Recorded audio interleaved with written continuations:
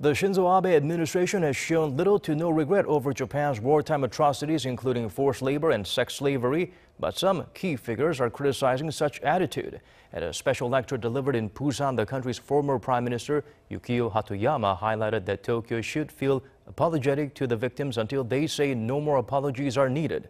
He added that as victims, they've gone through experiences that can never be forgotten. On forced labor, renowned Japanese author Keiichiro Hirano criticized Japan's media for instigating anti-Korean sentiment in the general public and emphasized the need to first read the full script of the forced labor ruling delivered by Korea's Supreme Court before saying anything against it.